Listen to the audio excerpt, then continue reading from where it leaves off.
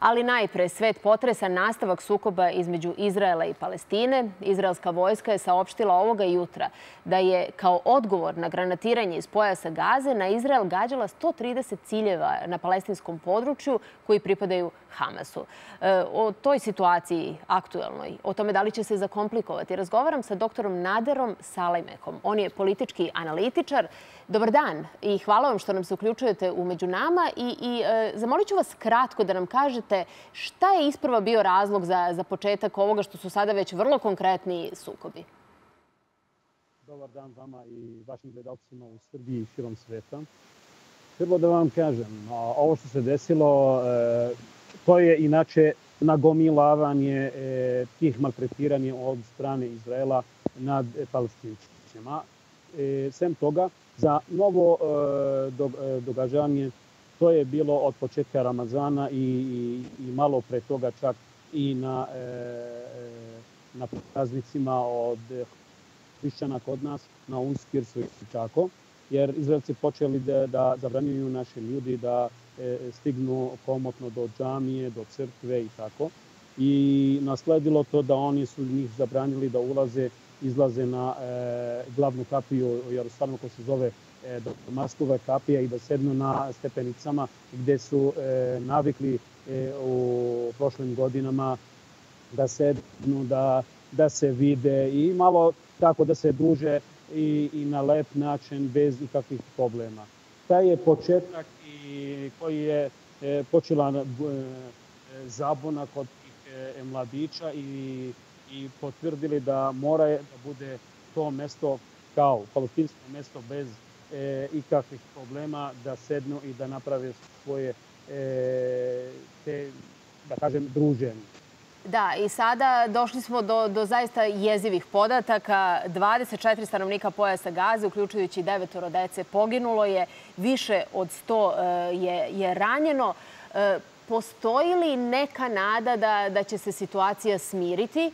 A pitam vas ovo zato što je e, portparol izraelske vojske rekao ne isključujemo kopnenu akciju. Dakle, koja su vaše predviđenja? da vam kažem, e, Izraelci su u zadnje vreme počeli inače da e, poviše taj pojam verski rat, verski rat kad su počeli protiv muslimana i hrišćana u Jerusalimu da njih zabranjuju stići do džamije i do crkve.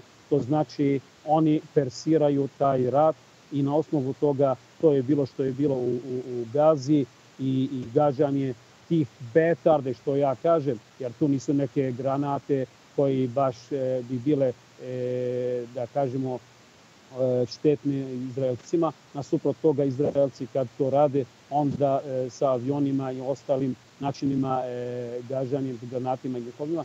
I, I zato da vam samo kažem, imamo 28 poginulih ljudi, od njih desetoro deca i jedna žena koji su civili. Zamislite, to su civili, nisu ni vojnici, nisu ni te ljudi koji gađaju tim granatima ili betarde koje ih zove. To znači, Izrael ide ka e, možda, kao što oni kaže, kopnen rat, ali e, stvarno oni to persiraju i hoće da izlaze iz svoje nekih problema i to zbog problema kod njihovih e, voža e, predsednik e, Netanjaho, koji je optužen za primanje mite i drugih optužbi i, i, on rade svim načinima da ostave tu neki sukob da bi ostao u vlasti, da ne bi došao do suženja. Sem toga, on hoće da izvade taj problem iz svoje kuće i da premeste u, u, u palestinsku stranu i tako mu je dobro došlo. Gospodine Salajme, eh, hvala vam mnogo što, što ste našli vremena, što ste se uključili umeđu nama i što ste nam dali svoj pogled na, na situaciju u, u Izraelu trenutno. Hvala najlepše. Zaista se nadamo da, da stvari neće ići na gore. E sada e, nastavljamo negde u, u možda sličnom e, domenu, ali se selimo na, na teritoriju Evrope i postavljamo pitanje koje je pa ne znam šta, kako bih to uopšte rekla, za, za opštu javnost bilo nemoguće, za ljude koji malo bolje poznaju prilike, pa možda su i razmišljali o tome, građanski rat u Francuskoj. Poprimaju li desničarske ideje sve veće razmere? U kojoj meri su otvorena pisma generala i vojnika predsjedniku Makronu zapravo vetar u leđa za liderku krajnje desnice Marine Le Pen. Među nama danas Aleksandra Kolaković sa Instituta za političke studije. E, sa nama je i Slobodan Zečević iz Instituta za evropske studije. Dobroveče. I hvala, vam, hvala vam mnogo što, što ste ovde. I e, zaista ima li e, rezona da, da danas uopšte govorimo o građanskom ratu u Francuskoj, kako je to rečeno e, u ovom pismu? Gde je e, takva izjava bila vrlo konkretna. Da, u stvari u pitanju su dva pisma. U pitanju su dva pisma, da. da. Jedno pismo koje je u stvari pismo e, oficira, bivših generala i naravno među njima ima i aktivnih e, vojnih lica. I ovo drugo pismo koje se za vikend u stvari pojavilo i koje je nešto drugog oblika, mada je u suštini isto. Na neki način to je podrška ovom prethodnom pismu, a opet sa druge strane ne znamo ko su potpisnici, autori tačno ovog pisma, osim što se oni deklarišu da su u stvari aktivni e, vojnici, e, oni koji su se borili za Francusku u raznim misijama širom sveta i e, koji smatraju da iz tog razloga imaju pravo da ukažu na to da je recimo prethodno pismo nepravedno dočekano od strane francuskih zvaničnika. Znamo šta je rekla recimo ministarka da. Parli odbrane i tako dalje. I takođe oni u stvari negde na navode skoro iste stvari koje su i navedene u prethodnom pismu o e, tim e, islamistima, o francuskim predgrađima, gradovima gde je nemoguće e, ući, gde je u stvari veliki problem onoga što je već i prepoznato od strane francuske države kao separatizam, odnosno islamski separatizam. I naravno da tu sve, kada to sve pogledamo, za ljude koji se ne bave toliko francuskom ili prosto nisu upućeni, zvuči dosta e, ovako da kažem e, zastrašujuće, posebno što se to sad dovodi u vezu sa migrantima i sa onima koji su došli na francusko tle i što je to podržala u stvari francuska desnica i konkretno Marine Le Pen ovaj čitavo ovo pismo. Međutim, kada ste ranije, da, da ste imali ranije prilike da razgovarate sa ljudima koji predstavljaju francusku desnicu, u Francuskoj ništa tu novo ne biste čuli. Čak i je delom neke stvari vezane, koje se pominju u pismu i koje su u stvari e, označene kao problemi savremene Francuske su i prepoznati od strane i Makrona i e, čitavog tog njegovog establishmenta i e, naravno da je tu sada povučena jedna crvena linija kada se je došlo do ubistva Samuela Patija u odrubljivanje glave što je odjeknulo i ne samo u Francuskoj već i širom sveta kao jedan stravičan čin što to jeste. I u svemu tome, naravno, se sada umešala i ova e, predizborna godina, odnosno e, treba da imamo u vidu da će da Francuska i sada u izbornom ciklusu. U junu će biti izbori za regione i za departmane i da će dakle, sam Emmanuel Macron, verovatno i Marine Le Pen, biti ti glavni igrači u određivanju ko će biti budući znači, francuski predsjednik. Imamo izuzetno kompleksnu da, situaciju sa, sa mnogo činilaca i sada i iz da. prošlosti. Da, da pogledamo ova dva pisma. E, prvo potpisano imenima i prezimenima preko hiljadu što penzionisanih e, generala, vojnika, što rezervista. Drugo je anonimno, ali znamo da je izuzetno brojno. E, između 100 i 130 hiljada potpisa su informacije koje sam ja danas uspela da, da nađem, ali trebalo bi reći i gde se, gde se potpisuje to pismo u jednom desničarskom listu.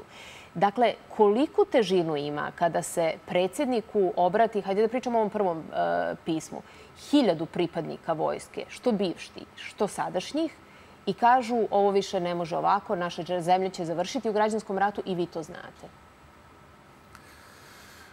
Ima naravno da ima težinu, pre svega u francuskoj javnosti. Smatra se da oko 56% građana u stvari potpuno podržava ta pisma koje su poslali e, ta vojna lica. Šta je tu problem? E, nije samo problem u tome što su oni poslali pismo u kome opisuju jednu situaciju koja je već opisana u romanu Michel Houellebecqa, Pokoravanje ili u nekim takvim delima, nego je reč o tome da, da, da se smatra, odnosno po francuskim propisima, pripadnici vojske i policije su obavezni da se uzdržavaju od političkih komentara. Znači, ne bi smeli da komentarišu političku situaciju u zemlji. I oni su to ipak uradili. Znači, to je opšte obaveza svih javnih službenika, naročito pripadnika vojske i policije. Šta nam to govori? To, to, to govori o tome da su oni Oni to svakako znaju. U tom smislu vam postavljam to pitanje. Oni znaju, oni to znaju, međutim oni smatraju da je zemlja pred raspadom. Znači, njihova, njihova dijagnoza je da je zemlja pred raspadom. Drugo, da, da je, kako da vam kažem, da je vlast i dalje nemoćna i da ne radi dovoljno na, na kontroli opšte situacije u određenim delovima zemlje koji su se praktično ocepili od francuske države i, i, da, i da mora nešto da se učini da ne bi oni došli u situaciju da vojska ne bi došla u situaciju da mora da ona zavodi red. Znači, oni su istupili ispred francuske vojske. Tako je, ispred francuske vojske, jer oni smatraju ako se ovako nastavi, francuska vojska će morati da interveniše na svojoj teritoriji, na sobstvenoj teritoriji protiv islamista i da će tu nastati praktično, to će biti uvod u građanski rat. Mi, da, to sam htjela da vas pitam, jer mi onda govorimo o građanskom ratu ili govorimo o državnom udaru? Pa, pazite, mi govorimo sad u ovom trenutku prvo u Francuskoj, u samoj Francuskoj se polemiše o tome da li je reč o uvodu u građanski rat, da li je već već, već zemlju u građanskom ratu ili je reč o jednom potpuno novom stanju. Znači, kakvom novom stanju gde će dve civilizacije, dva, dve, dve vere, dva, dva, kako vam kažem, načina življenja živeti jedni pored drugih. Što je apsolutni šok za francusko stanovništvo. Znači, to ipak ljudi nisu očekivali. Vi, mi sad da živimo u Srbiji, mene to podsjeća na kosovsku situaciju, iskreno da vam kažem. Znači, masovno doseljavanje islamskog stanovništva, hrišćansko stanovništvo koje polako gubi primat i imate onu čuvenu tezu Maxa i Engelsa da kvantitet prelazi u politički kvalitet. Ovde je kvantitet, broj ljudi, kao što je kod nas na Kosovu, kvantitet je prešao u politički kvalitet. Albanci su preuzeli Kosovo. Da. I sada imamo vojnike, generale koji urade nešto protiv zakona. Podrži ih opozicijona liderka, svesna da su oni to uradili protiv zakona. Pretrpela je ona određene kritike, ali nije povukla svoju podršku.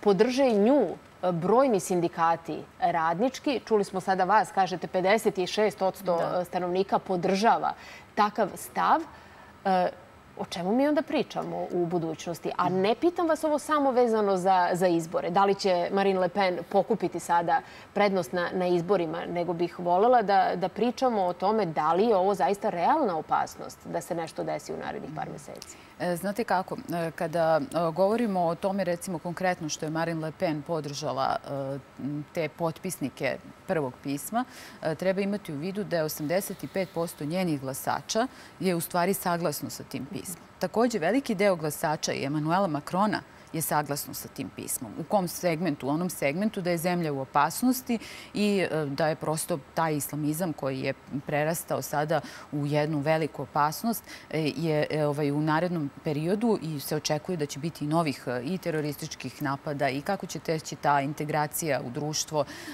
A opet, sa druge strane, ne smemo zaboraviti da tu nisu, nije samo reč o migrantima.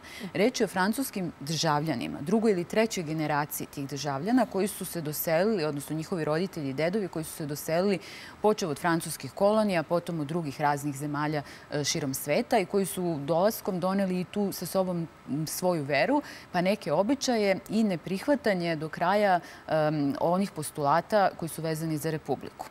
E, znate kako, Francuska zaista ima jednu e, dugu tradiciju republikanskog uređenja. Peta republika, koja je i danas aktuelna, ima ustav koji se nije promenio od vremena de Gola.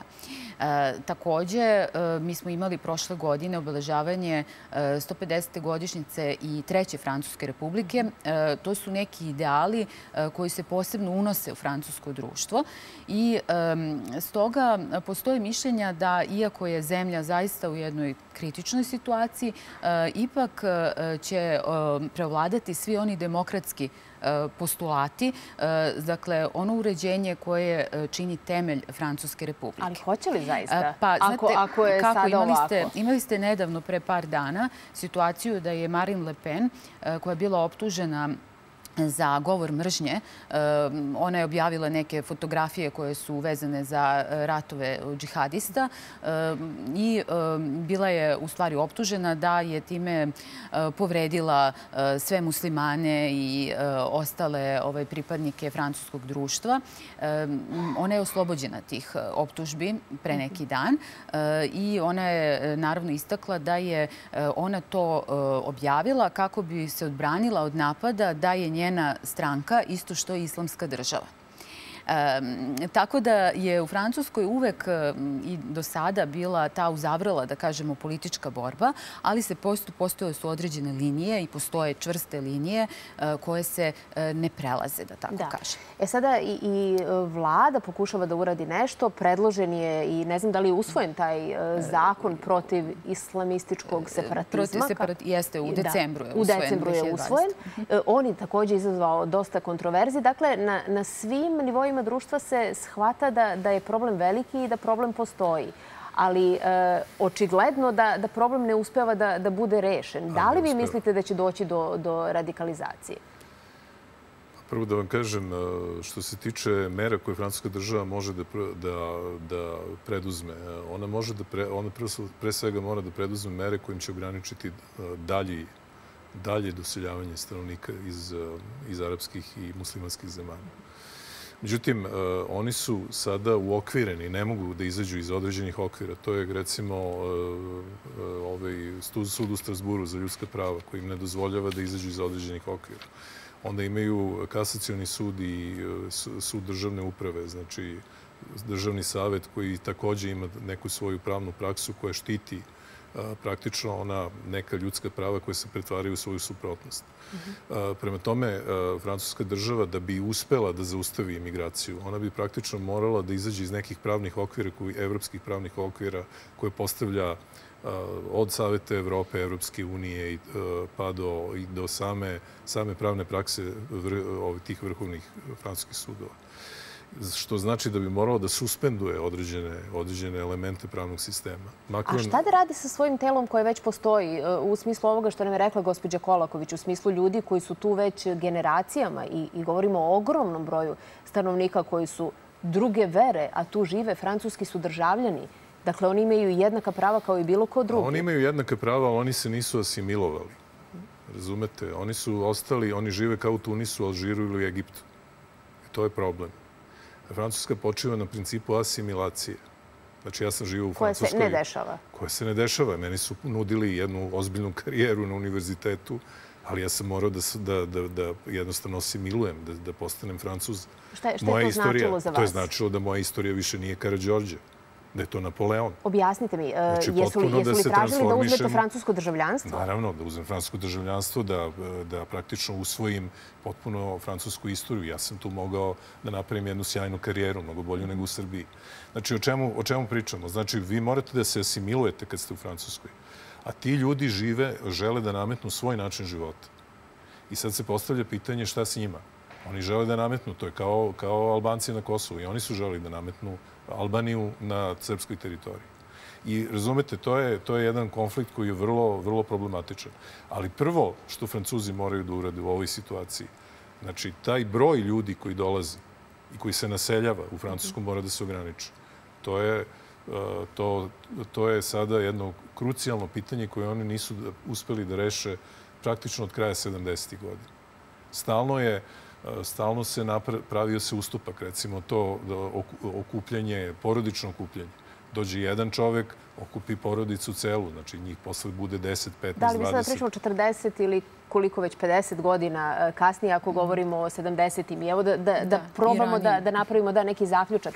Je li, e, je li danas suviše kasno govoriti o, o svemu tome ako imamo generacije i generacije, tu vidimo oboje se slažete, da. koje se nisu asimilovale na način da, da se uklope u francusko društvo bez e, problema, Znači, šta se, šta se danas radi? E, da li kasno... Pitanje za milion dolara. Da, da, da, da znamo to pitanje, ovaj, verovatno. A i da ga Macron zna, bio bi jako srećan. Ne, ima dva stava, mislim, samo iz... Da. Znači, ima stav Macrona koji kaže Francuzima sada, znate šta, morat ćete se naviknete. Aha. Francuska više nije samo hrišćanska i nije evropska. Francuska je sad i muslimanska zemlja. I ogroman broj ljudi koji kažu nećemo da se navikavamo na to. Ima jedan broj ljudi koji kaže, okupljen oko Marine Le Pen, koji kaže, znate šta, mi na to ne možemo da se navikamo. Da, e sad je u stvari problem 1905. godina kada je Francuska izašla kao država iz tog okvira religije i vere kao takve i to je isto jedan bitan moment i to su ti temelji Francuske republike na koje se jedan deo stanovništva nije, nije navikao.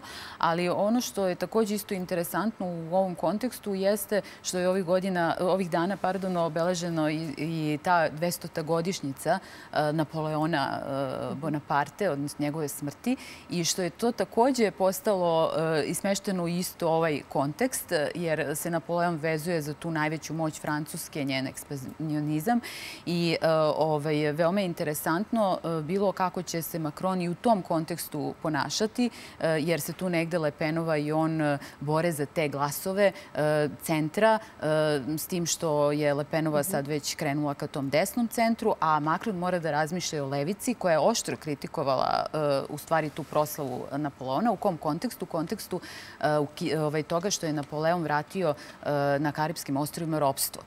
I sada se to opet uključuje još jedan dodatni element gde Francuska levica koja nije toliko jaka politički u smislu političkih partija, ali jeste jaka e, u medijima, u javnosti e, i u raznim pokretima koji se pojavljuju ovaj, i na internetu, socijalnim mrežama i ovako. E, I ona negde je ta koja pruža tu zaštitu i tim migrantima i naravno svim tim ljudima koji su se doselili, a nisu se još uvek asimilovali u francusko društvo. Znači, čekamo da vidimo u stvari koja će snaga nadvladati u narednih par meseci. Tako je, na sledećim da. izborima, prvo pre svega. Hvala vam mnogo što ste bili naši gosti. Najlepše, najlepše hvala i vam.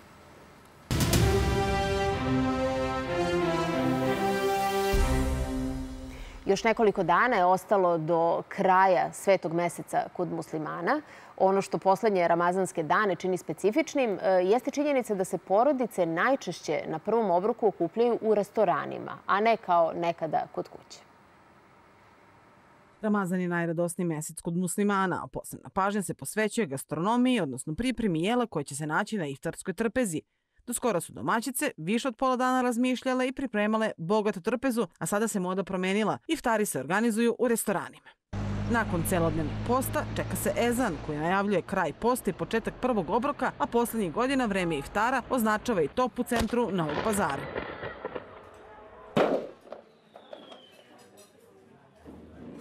Iftarska trpeza mora da sadrži određene namirnice bez kojih se ne može prekinuti post. Normalno hurme, onda neka čorba, pitice. ovaj pitice, pitice, meso, sad uglavnom sve ono što bi kući spremili. Karakteristično za Ramazan u Bosni i Hercegovini je da se iftari topom, dobro, tradicionalno hurmom kao i ovdje, ali topa je obavezno, obavezno na meniju. To je bukvalno istopljenim, istopljeni mliječni proizvodi i koji se se somuni ili evo, tako reći pitice i to je uglavnom kao neki vid predjela u uvod u glavni dio iftara, glavnog jela.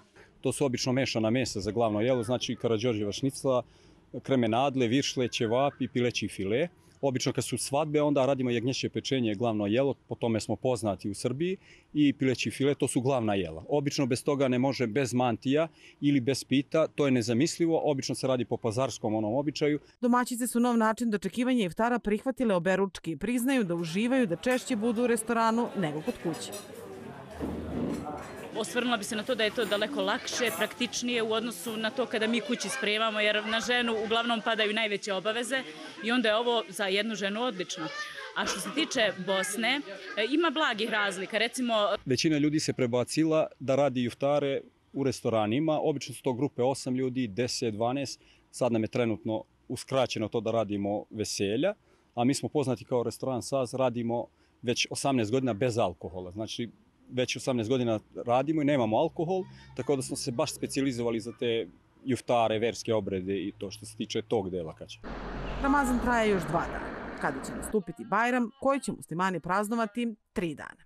Katarina Radović, Televizija Nova, Novi Pazar. Ajde.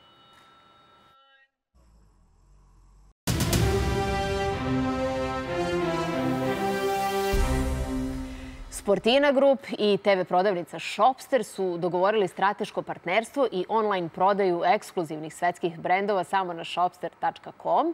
Cilj je naravno da se stvori najveća regionalna modna zajednica na platformi koja, to da već dobro znate, integriše i web i TV prodaju. E sada ćete da čujete i detalje o svemu tome. Moji gosti su Ljiljana Ahmetović, ona je direktorka Shopster televizije, a i naša prepoznatljiva lica, lica naravno tog kanala, Miloš Maksimović i Irena Stojanović, nego vas ja malo svojatam. Dobro mi došli. Ili dobro došli. Drago mi, je, drago mi je što ste ovde. I ove, u stvari, šta, šta mi je još draže? Što nam uvek dođete sa nekim lepim vestima, sa, sa lepim dobrim novostima i sad je to ta činjenica da, da preko Shopstera mogu da se kupe i, i e, sve ono što prodaje inače Sportina grupa. Tako je, Maja, uvek dolazimo sa dobrim vestima i sada je još jedna dobra vest. Prvo da podsjetim vaše gledaoce i naše kupce da je u stvari Shopster najveća online i TV prodavnica. Na jednom mestu vi danas možete da birate preko 100.000 različitih proizvoda. To je prosto jedan ogroman online tržni centar. Posebno smo ponosni na saradnju sa Sportinom zato što je Sportina najveći inače trgovac u jugoistočnoj Evropi u modnoj industriji. Zajedno sa Sportinom mi danas donosimo izvinja se, nove brendove na Shopster, što znači da kada odete na svoj omiljeni pretraživač svog telefona ili recimo laptopa, ukucate shopster.com, došli ste u našu prodavnicu. Jedan klik na kategoriju mode i vi možete da birate najbolje svetske brendove iz modne industrije. To znači da na Shopsteru vi danas imate i Pariz i Milano i sada dok pričamo vi možete brzo da recimo obavite jednu kupovinu jer je kod nas sve jednostavno i lako.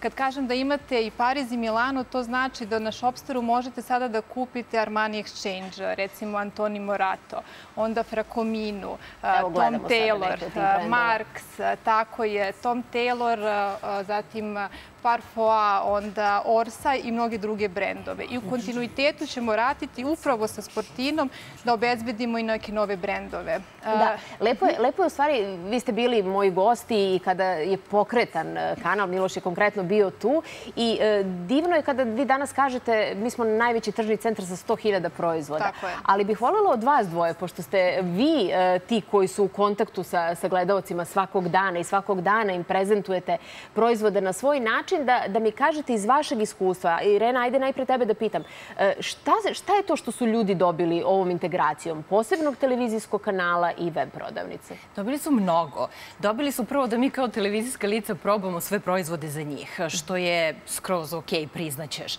Jer se pitaš uvek kao gledalac, e kako je to kad bi to neko, kad bih sad dotakao, kad bi pipnuo, kad bi probao, kad bi okrenuo, imaš milion i jedno pitanje. E, pa mi umesto njih pitamo, e, probamo i vidimo kako ti proizvodi funkcionišu, kako rade. Mhm. Dakle, sve ono što imaju prilike da vide na našem sajtu, imaju prilike da vide i na Shopster TV-u. Dakle, vide proizvod e, ceo da kažem, a i mi ga predstavimo onako kako zaista jeste, ali iz našeg ličnog ugla. Kako smo mi taj proizvod doživeli, jer zapravo mi svaki taj proizvod prvo probamo pre nego što ga prezentujemo. Da, ovo je, ovo je u stvari potpuno nešto novo. Kanal gde poznata televizijska lica prezentuju e, određene proizvode i kanal opet e, koji živi već e, neko vreme koje su tvoje iskustva? Koji su negde komentari koje ti najčešće dobijaš? Koji su benefiti koje ljudi vide na, na Shopster TV kanalu? Meni se dešava da, da me prijatelji pitaju je li Elona i sušač za obuću zaista radi. Ja, stvarno tako, dobro. Tako je, da. I ovaj, a dešava mi se da me neki ljudi prepoznaju koji možda nisu pratili sve što sam do sada radio